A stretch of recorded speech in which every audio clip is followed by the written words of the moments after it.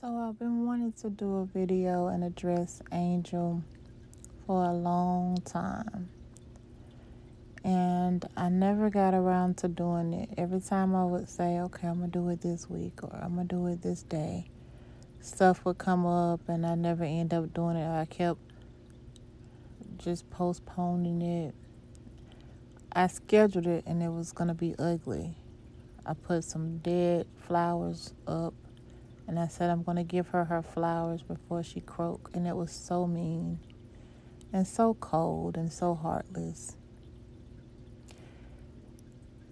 But the Lord will never let me do it, in spite of everything that me and Angel has went through for the last what six years, and that's why I never did that live. Tonight I want to give Angel her flowers, her real flowers, her blossoming, blooming flowers. Because, spite of what happened with her and I, there was a time that we were close. There was a time that she gave me support and she was there for me when I lost my mom.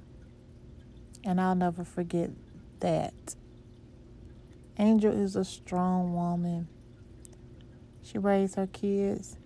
She did whatever it took to take care of them and make sure they had food on their table.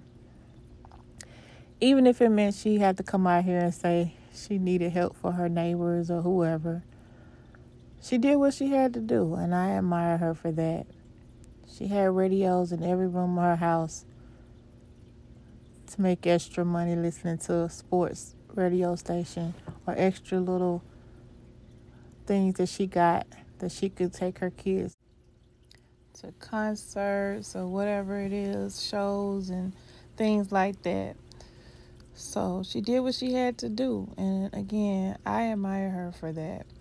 Because I know to raise a child with autism had to be hard. You have to be a strong minded person, a strong person to do that. Um, while you're sick yourself. So, this ain't no. This ain't no bad video. This ain't no mean video. This is actually me saying how I really feel. It's saddening to know that one day she I won't hear her voice anymore. Even if she's Louisiana call like and going off on me. Just knowing one day that I won't hear her no more. That make me sad.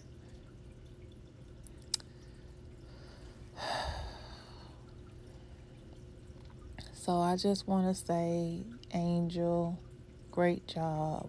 Well done job. You did a good job. And I don't hate you.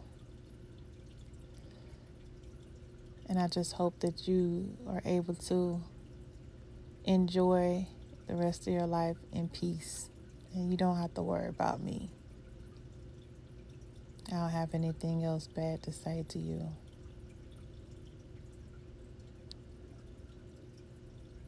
Take care, Angel.